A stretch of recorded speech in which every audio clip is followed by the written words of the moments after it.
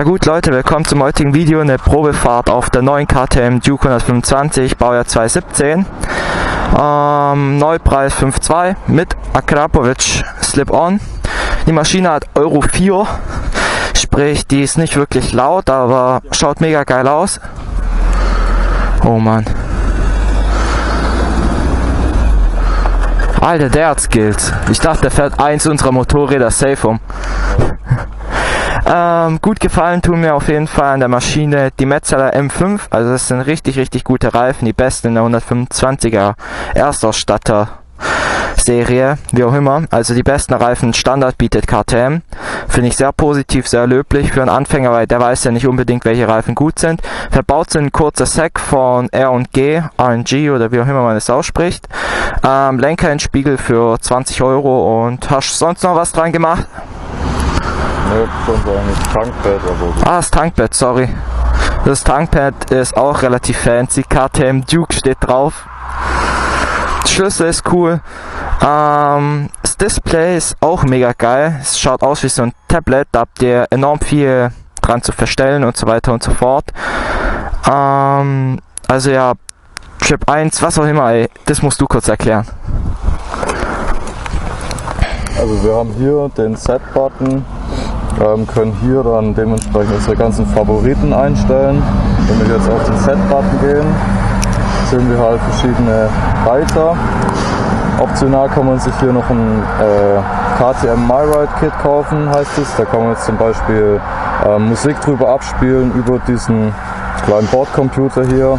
Kostet 80 Euro und kann das, äh, das Motorrad zum Beispiel auch mit seinem Handy koppeln per Bluetooth. Ähm, und zum Beispiel auch Anrufe annehmen oder so. Das geht alles dann mit der Set-Taste und mit der Zurück-Taste lehnt ihr das ab. Ähm, hier haben wir halt die ganze Info zum Motorrad.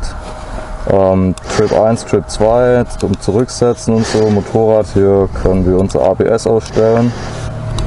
Bei Optionen können wir unsere Favoriten auslegen, äh, festlegen, was wir in der Schnellauswahl haben wollen und so weiter und so fort. Ähm, und in den Einstellungen gibt es halt die ganzen Sachen wie Uhrzeit, Datum, ähm, Tagvorsicht kann man einstellen. Und was auch ganz nice ist, hier sieht man, wann der nächste Service ansteht. Das ist eigentlich auch ein ganz nettes. Also die Serviceintervalle sind riesig, also in riesigen Abständen. 6708 Kilometer. Es macht ein Serviceintervall von allen 8000 Kilometern. Ungefähr, oder? Ja. Ähm, ja. Ähm, das LED-Licht seht ihr vorne, also die schaut mega geil aus, wie die Super Duke. Mega. Ähm, unterm Sitz ist sicherlich auch noch Platz. Ich weiß nicht, wie das geht, das müsstest du machen. Ja, und im Sitz ist nicht wirklich viel Platz. Ähm, und was auch noch ein negativer Punkt ist, der Sitz geht richtig schwer wieder drauf. Okay.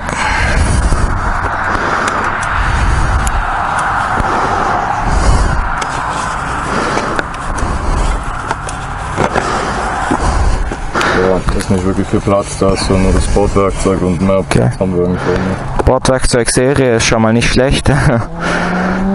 ja, sollte nur einen Eindruck vermitteln. T-Shirt ist da. Vergleichsweise, ne? Also das ist wirklich so einer der größten Kritikpunkte des Nutzers. Bequem scheint er. Ja, das ist schon bequem. Gut, ABS hast du auch. Probiere ich auch irgendwo aus, aber erst am Ende der Probefahrt. Mal sehen, ob KTM sich gebessert hat mit dem ABS. Die KTM, die ich gefahren bin, war's gut? Ja, der hat einen Stoppie gemacht in der Luft, weil ähm, auf der Landstraße unten, Neckartalstraße, wie man sich entschieden hat, kurz links reinzugehen, aber abgebogen und dann erst geblinkt, von 100 runter, zwei Autos fahren auf, der so in der Luft, ich fast auf ihn drauf, der hinter mir fast auf mich drauf und das hat er schon gut runtergeregelt. Okay. Also nichts blockiert, gar nicht. Und nicht aufgestellt, hast dich aufgestellt, hast dich aufgestellt, Nein. dann ist sehr gut das ABS. Probiere ich aber noch aus. Yamaha und so hatte ich übel Probleme mit dem ABS-System. Dachte ich mir, heilige Scheiße, was trauen die Anfängern zu? Selbst Profis sagen bei dem ABS, dass echt kritisch zu bewerten ist, dass man echt kein Vertrauen in das Bike hat, wenn es schlimmes ABS hat. Was du noch eventuell sagen kannst, ist, Die ist sehr anfällig für Kratzer und den ganzen Scheiß wegen dem schwarzen Lack und so. Also wer sich die holt, sollte auch ein bisschen Lust haben zu pflegen. Okay. So Leute, ihr habt's gehört, sie ist anfällig. Sie ist schwarz, also anfällig für Kratzer. Sie ist anfällig, kann alles heißen. Sie ist anfällig für Kratzer, weil sie schwarz ist. Wer sie sich holt, muss sie pflegen. Dann schaut sie aber auch mega aus. Er hat sie poliert, schaut mega sauber aus, wenn man sich mein Bike anschaut. Komplett schwarze Felgen, nach einer Woche nicht waschen. Top gepflegtes Bike. Wie groß bist du? 1,83 oder so. Setz dich mal drauf, dass ich den Kniewinkel zeige. Winkel mal dein linkes Bein an, also auf die Fußraste. So Leute, ihr habt hier, ihr habt hier echt gut Platz und er kommt mega gut auf den Boden. Ja, Halt hier allgemein flacher geworden. Ja. Und wir haben das hier weiter reingebaut, dass halt auch größere Leute drauf passen. Und die Sitzhöhe ist 20 mm höher als bei der alten. ja, das ist sehr gut. Gefällt mir auf jeden Fall. Und der ist schön, äh, sch schön schmal im vorderen Bereich, dass auch kleinere Leute super mit den Beinen runterkommen.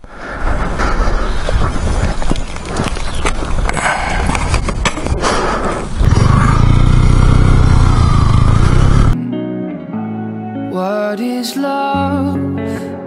Baby, don't hurt me. Baby, don't hurt me.